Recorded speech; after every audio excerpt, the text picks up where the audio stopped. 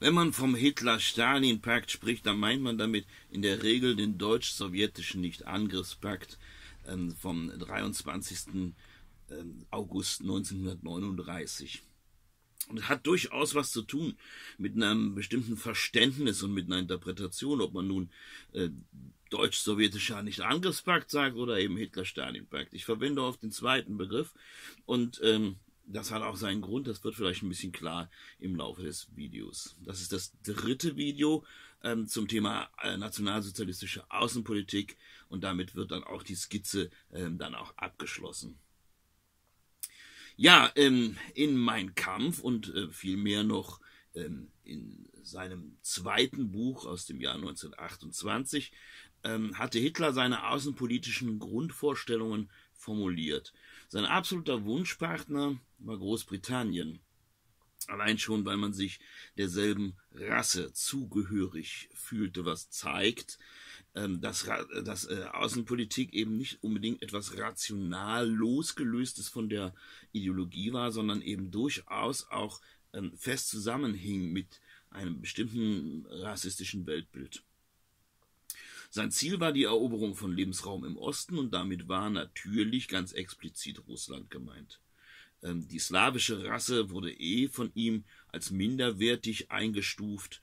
Ähm, der Bolschewismus, also die russische Spielart des Kommunismus, äh, sollte mit Stumpf und Stiel ausgerottet werden. Außerdem wurde die Sowjetunion äh, von Hitler als schwach eingeschätzt, das Riesenreich sei reif für den Zusammenbruch.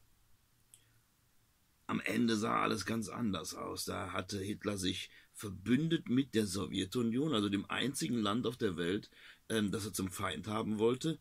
Und er stand kurz vor einem Krieg mit Großbritannien, also dem einzigen Land in Europa, das er immer als Freund hatte gewinnen wollen. Wie konnte es dazu kommen? Das wollen wir uns äh, in diesem Video mal ein bisschen genauer anschauen. Hitlers Außenpolitik hatte ähm, am Anfang äh, vorgesehen, äh, Bündnisse zu schmieden, ähm, die ihm letztlich diesen Krieg, diesen geplanten Krieg um Lebensraum im Osten, damit eben gegen die Sowjetunion, ermöglichten. Ähm, der erste außenpolitische Vertrag von Bedeutung war dann auch 1934 der deutsch-polnische Nichtangriffspakt. Und 1936 ähm, kam es zu äh, deutsch-rumänischen Annäherungen. Die Idee war, äh, Polen und Rumänien gegen die Sowjetunion zu gewinnen, einzuspannen, aber beide waren ähm, bündnispolitisch an Frankreich geknüpft.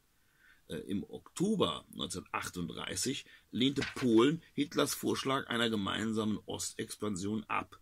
Er hatte ihnen sogar Teile der Ukraine versprochen. Ähm, am 28. April 1938, äh, 1939 pardon, ähm, wird dann vom Deutschen Reich der Angriffs-, Nicht-Angriffspakt mit Polen aufgekündigt. Ja, von daher ist die Geschichte dann da erstmal beendet. Aber gucken wir uns das ein bisschen genauer an. Ähm, zuerst versuchte äh, Nazi-Deutschland ähm, eine Verständigung mit den baltischen Staaten anzustreben. Ähm, da gab es einen Konflikt mit Litauen, nämlich ähm, das sogenannte Memelland. Ähm, das ist äh, nordöstlich von Ostpreußen ähm, und war eigentlich laut dem Versailler Vertrag nach dem Ersten Weltkrieg ähm, dem Völkerbund unterstellt. 1923 ähm, allerdings wurde es von Litauen besetzt. das hat natürlich immer wieder auch zu Spannungen geführt, denn immerhin, das Memelland, das sind alte, alte deutsche Gebiete. Ja. Ähm, allerdings ähm, hatte sich das in der Weimarer Republik so weitgehend erledigt, aber 1933 dann eben auch mit ähm, der Machtübernahme der Nationalsozialisten, ähm, da flammen natürlich diese alten Forderungen nach der Rückgabe des Memellands dann auch wieder auf. Äh, wir befinden uns ja nach dem letzten Video, da es endete ja praktisch mit der Zerschlagung ähm, der Tschechoslowakei. Wir sind also im März 1939 und nur fünf Tage danach ähm, stellte das Deutsche Reich an Litauen dann ein Ultimatum ähm, und darin wurde eben gefordert die Abtretung des Memellands, ansonsten würde die Wehrmacht deutsche Wehrmacht ein, dort einmarschieren. Frankreich und Großbritannien, die ja nun gerade nach diesem Tschechoslowakei-Desaster und dem großen Scheitern ihrer Appeasement-Politik ähm, an Polen jetzt eine Garantieerklärung äh, abgegeben hatten, die hielten sich aus dieser Frage raus. Und ähm, zusätzliche Unterstützung erhielt das Deutsche Reich durch Italien ähm, und, und Japan. Aber zu dieser Bündniskonstellation, da kommen wir vielleicht an einer anderen Stelle, in einem anderen Video auch vielleicht nochmal genauer was dazu. Ja, am äh, 23. März 1939 hat dann ähm, Litauen tatsächlich das Memelland an das Deutsche Reich übergeben. Ähm, jetzt könnte man sagen, ja, wenn man auf, auf die Karte guckt, ähm, dann äh, ist das Memelland, das macht auch nur 5% des Territoriums von Litauen aus. Also es scheint ja irgendwie erstmal gar nicht so ein Problem zu sein. Aber das aber, äh, Memelland war sehr attraktiv für Litauen. Die haben es nicht umsonst besetzt. Denn erstens war da der einzige Ostseehafen, den dann Litauen hatte, was für seinen, was für den Handel natürlich ganz, ganz wesentlich war.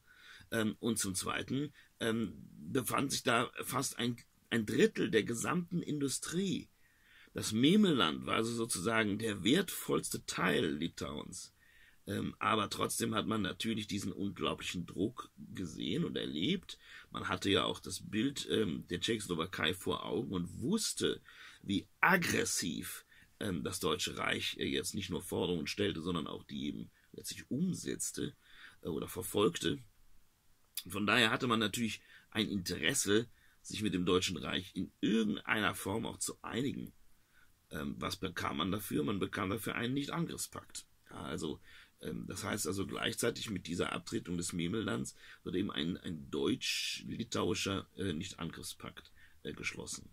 Ein Monat später, äh, nur einen Monat später, nämlich am 28. April 1939, ähm, bot dann das Deutsche Reich ähm, Estland, Finnland, Dänemark, Norwegen und Schweden ebenfalls nicht Angriffspakte an. Ähm, Finnland, Norwegen und Schweden lehnten ab.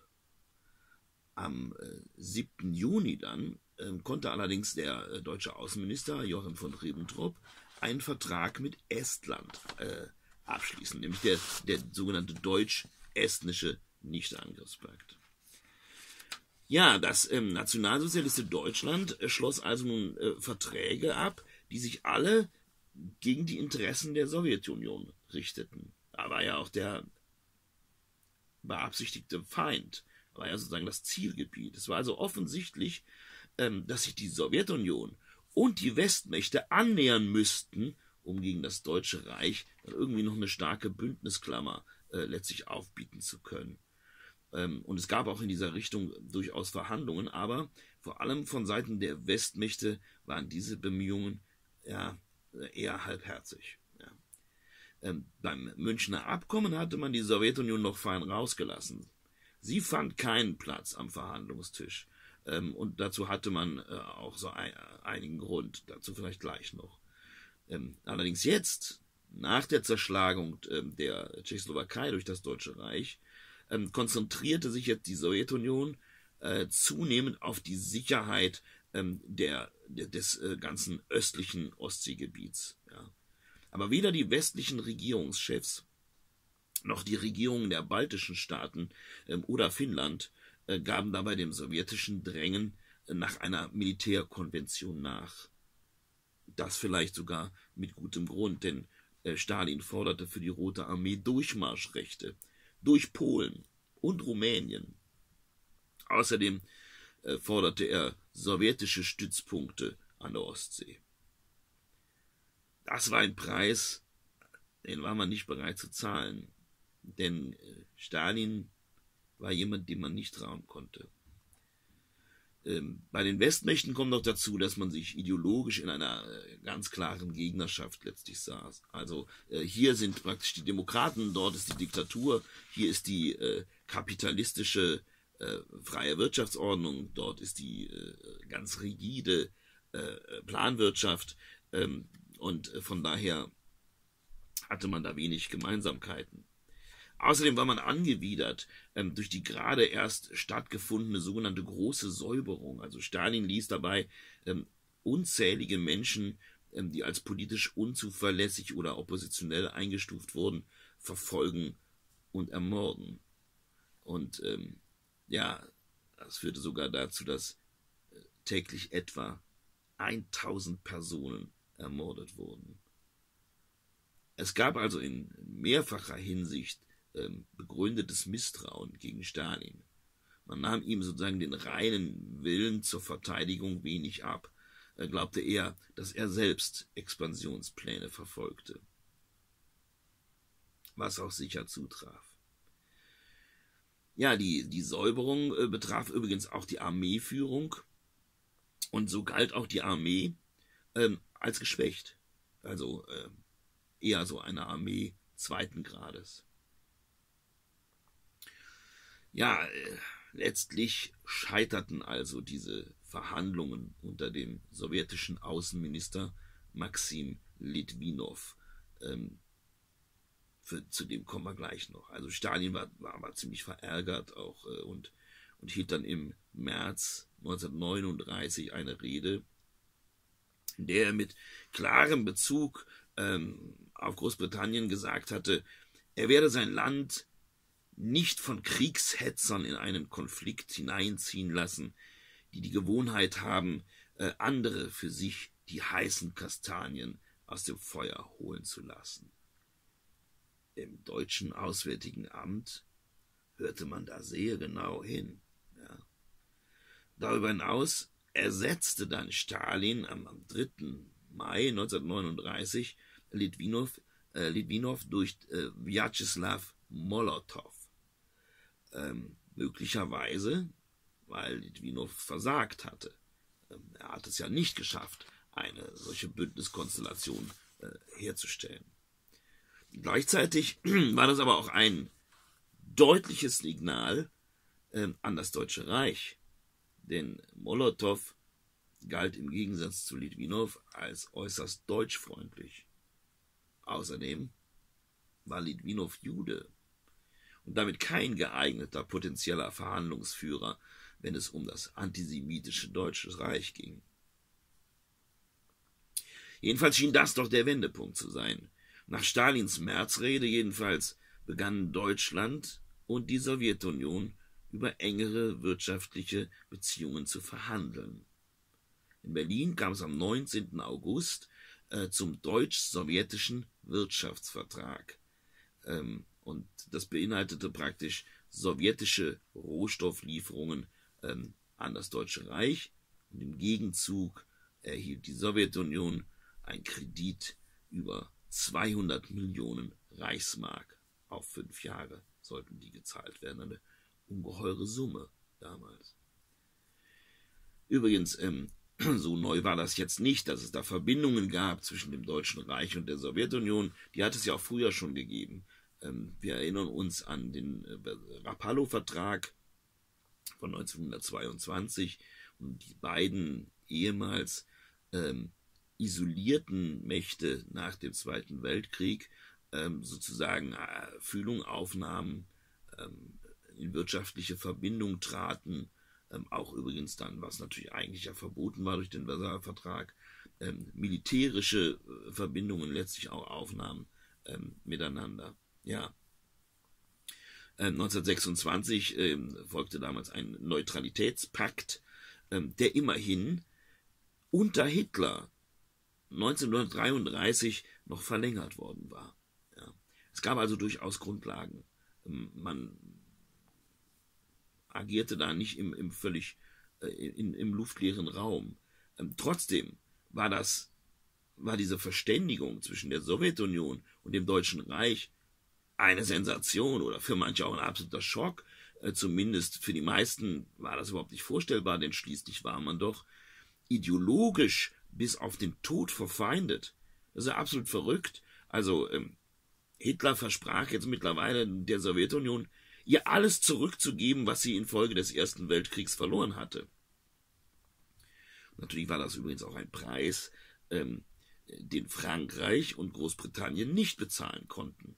Ähm, denn es bedeutete ja letztlich äh, in, der, in der Konsequenz ähm, die Freiheit der, der baltischen Staaten, Polens und sogar vielleicht auch Finnlands zu opfern. Ja, ja ähm, also eigentlich seltsam und eigentlich ist das schon fast paradox, aber wenn wir Hitlers Forderungen an Polen betrachten, dann waren die ja eigentlich gar nicht so unberechtigt. Ähm, also zumindest nicht so unberechtigt wie seine Forderungen an Prag und die Resttschechoslowakei. Ja. Ähm, Danzig, ehemals deutsche Stadt, äh, war ja im Versailler Vertrag zur freien, Dan freien Stadt erklärt worden, freie Stadt Danzig ähm, und äh, unter der Aufsicht des Völkerbunds. Und sie lag im polnischen Korridor zwischen dem deutschen Ostpreußen und dem restlichen Deutschen Reich. Und so war es letztlich leicht zu vertreten, dass Deutschland durch diese Regelung letztlich Unrecht geschehen sei. Also, zumindest gab es hier, anders als bei der Zerschlagung der Tschechoslowakei, ähm, doch gewisse Anknüpfungspunkte ähm, zu einer Revisionspolitik des Versailler Vertrags, während es ja völlig klar war, dass äh, die äh, Zerschlagung der Tschechoslowakei überhaupt nicht mehr äh, mit dem Versailler Vertrag oder einer Revisionspolitik in Verbindung zu bringen war. Also das war ja äh, völlig, wäre ja völlig absurd gewesen, ja, was ja auch jeder so verstanden hat. Ja, anfangs ähm, bat der ähm, Außenminister, der deutsche Außenminister Joachim von Ribbentrop, Polen übrigens ja auch noch ähm, um die Rückgabe Danzigs. Ähm, und man wollte eine schmale Landverbindung durch den polnischen Korridor, ähm, auf dem Deutschland eine eigene Straße und eine Eisenbahnlinie ähm, zwischen Ostpreußen und dem restlichen Deutschland hätte bauen können. Allerdings äh, stieß das äh, auf absoluten Widerstand. Das war mit den Polen nicht zu machen. Am 31. März, erinnern wir uns, gaben Frankreich und Großbritannien als Konsequenz von Hitlers Zerschlagung der Tschechoslowakei jeweils eine Garantieerklärung für die polnischen Grenzen ab. Dadurch ermutigt, äh, waren die Polen jetzt nun gar nicht mehr gewillt, äh, irgendwie äh, sich kompromissbereit zu zeigen. Ähm, und dann im, im, weiteren Verlauf des Jahres 1939 ähm, gewann dann letztlich die Position der Sowjetunion immer mehr eine entscheidende Bedeutung. Am 23. August, jetzt kommen wir dann zu dem eigentlichen Vertrag, äh, da ist dann Ribbentrop in Moskau. Er und Molotow kommen zu einer Einigung, ähm, von der dann der deutsche Außenminister nachts um zwei Uhr seinem Führer dann begeistert am Telefon berichtet, der deutsch-sowjetische Nicht-Angriffspakt steht. So, worum handelt es sich da? Es ist ein bilaterales Abkommen, also ein Abkommen zwischen zwei Mächten. Und ähm, vor allen Dingen geht es da um den Verzicht auf gegenseitige Gewaltanwendung. Ähm, sollte es Meinungsverschiedenheiten geben, dann verabredet man sich in so einem Fall gegen äh, gegenseitige Konsultationen, also Beratungen. Ähm, aber das Entscheidende ist eigentlich, man versichert sich einer gegenseitigen Neutralität im Falle eines Krieges. So weit, so gut. Jetzt könnte man ja sagen, ja, es ist, es ist ein Defensivbündnis. Mehr ist das ja nicht. Ist ja kein kriegerisches Bündnis. Erstmal, es ist ja nur erstmal ein, ein, ähm, ein Defensivabkommen. Die besondere Brisanz allerdings, die findet sich im sogenannten geheimen Zusatzprotokoll, während der deutsch-polnische Nichtangriffspakt öffentlich war, war dieses geheime Zusatzprotokoll unterschrieben hier von Ribbentrop und Molotow. Es war ein Geheimdokument. Das ging nicht an die Öffentlichkeit. Es galt, wie es darin heißt, für den Fall einer territorialpolitischen Umgestaltung. Das muss man sich erstmal auf der Zunge zergehen lassen. Was heißt das denn? Der Fall einer territorialpolitischen Umgestaltung. Also natürlich ein Code für, für Krieg. Ja? Ähm, Also wenn ich ein Land erobere und ich sage dann, ja, das wird jetzt territorial umgestaltet, dann ist das ja dann durchaus irgendwie so ein Euphemismus, ja. Ähm, und in diesem äh, Protokoll äh, werden praktisch die deutschen und die sowjetischen Interessensphären für diesen Fall einer politischen territorialen Umgestaltung abgegrenzt. Der größte Teil Polens und Litauens sollte an das Deutsche Reich gehen und die Interessenssphäre der Sowjetunion, äh, das war Ostpolen, das war Finnland, das war äh, äh Estland, Litauen und Bessarabien. Da sollte eben auch das Deutsche Reich praktisch erklären, ja, da, Bessarabien, da haben wir keine, keine Interessen.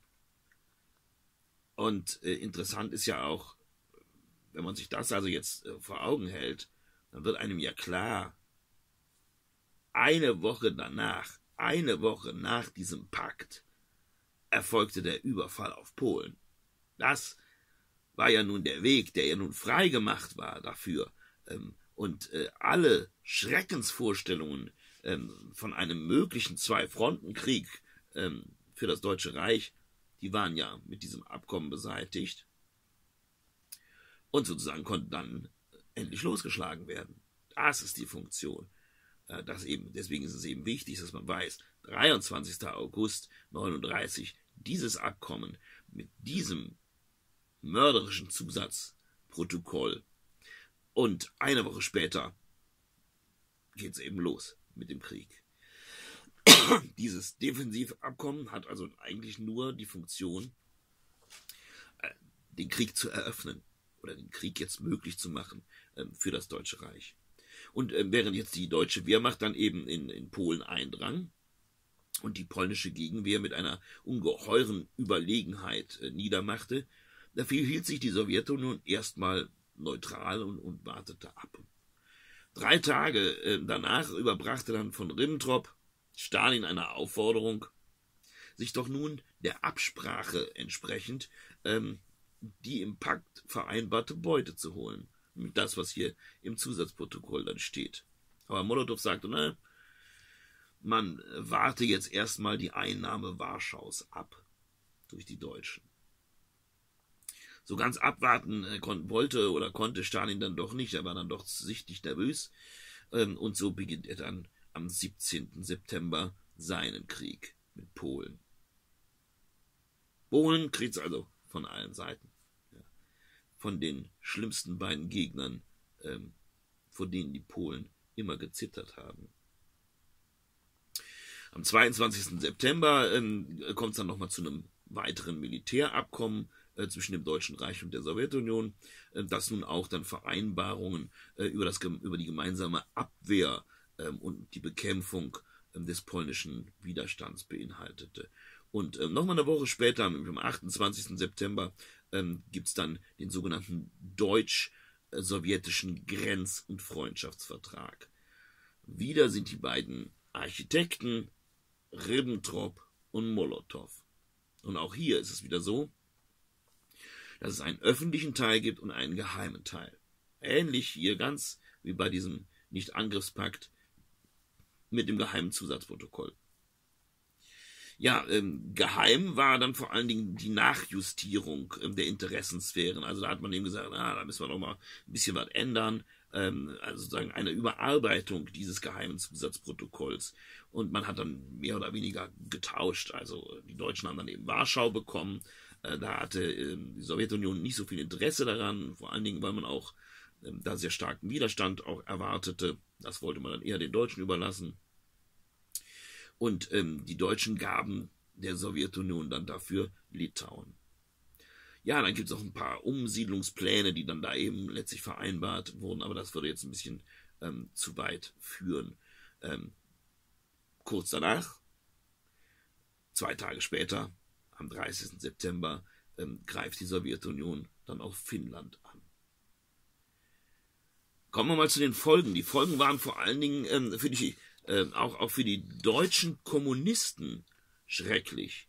Denn man darf ja nicht vergessen, nach der Machtübernahme der Nationalsozialisten, nach dem Reichstagsbrand, der ja eine Verfolgung der deutschen Kommunisten auslöste, ähm, haben ja auch viele das Land verlassen, das Deutsche Reich verlassen. Wo sind sie hingegangen?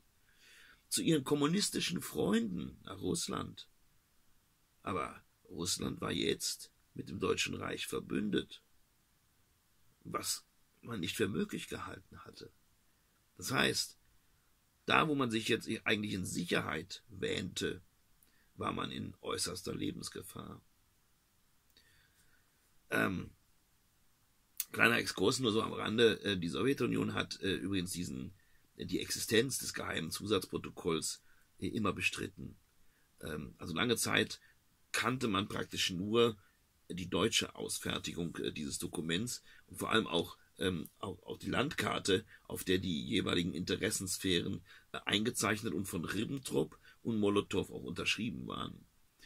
Ähm, Im Jahr 1989, da forderten Abgeordnete aus den äh, drei baltischen Sowjetrepubliken, nämlich Estland, Lettland und Litauen, auf dem Volksdeputiertenkongress in Moskau ähm, den sowjetischen Staats- und Parteichef Michail Gorbatschow auf, ähm, das sowjetische Original vorzulegen. Aber die Antwort lautete erstmal, gibt es gar nicht. Haben wir doch immer gesagt. Ja, gibt es nicht. Ne? Ähm, existiert nicht. 1991 ähm, erst gab man dann doch bekannt, ja, ja, es gibt auch eine sowjetische äh, Fassung, ein Gegenstück sozusagen. Und erst 1993, da ist die Sowjetunion schon Geschichte. Da wird es dann veröffentlicht. War die ganze Zeit im KGB-Archiv. Das nur so am Rande. Ja, kommen wir am Ende zur Bewertung. Wir haben also hier zwei gefräßige Diktatoren, die handeln miteinander eine fette Beute aus, äh, die sie sich dann äh, brüderlich teilen. Ähm, dass sie ideologisch äh, miteinander verfeindet sind, scheint überhaupt keine Rolle zu spielen.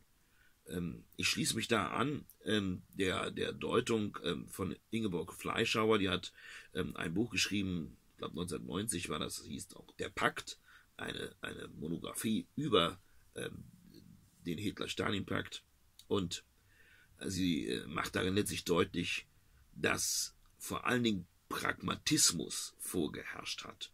Mochte man ja ideologisch miteinander verfeindet sein, aber äh, letztlich äh, gab es etwas zu gewinnen. Das heißt, wir haben Machtgier, Expansionsstreben auf beiden Seiten, also auf Seiten des Deutschen Reiches und auf Seiten der Sowjetunion. Und ähm, da ist man eben über die ideologischen Gräben hinweggesprungen, ja, um sich dann eben die Beute äh, zu teilen. Ja, ähm, einig war man sich übrigens auch in, in einem sozialdarwinistischen Grundprinzip, ja, nämlich der Stärkere frisst den Schwächeren. Und das ist auch durchaus wieder etwas, ähm, was die beiden auch miteinander verbindet, also Hitler und Stalin. Ja. Ähm, wir halten fest, das geheime Zusatzprotokoll, das zeigt eigentlich, es handelt sich eben nicht um ein rein defensives Bündnis, ähm, sondern es handelt sich um eine Vereinbarung ähm, zwischen zwei verbrecherischen Regimen, ähm, die gemeinsam einen Raubkrieg vorbereiten. Ja. Und von daher war es eben ein Pakt, ein Pakt äh, zwischen zwei Diktatoren und die Bezeichnung äh, deutsch-sowjetischer Nicht-Angriffspakt, der ist zwar korrekt, aber letztlich ist er irreführend. Ja, nur dass Stalin nicht ernsthaft damit rechnete, dass für Hitler auch dieser Pakt eben nur ein weiteres Stück Papier war, ähm, ein weiteres Abkommen, ähm, das er brechen würde, sobald es ihm dann auch möglich war. Und als er am 22.